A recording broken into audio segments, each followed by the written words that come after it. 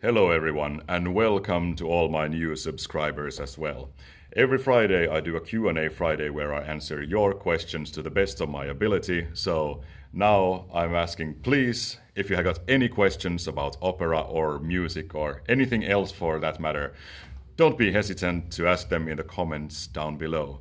Uh, I hope to get as many as possible. Right now, I got one question coming up, so there's there's room for a few more. So. Uh, until my next video, ask as many questions as you wish, and of course, combatti per la gloria.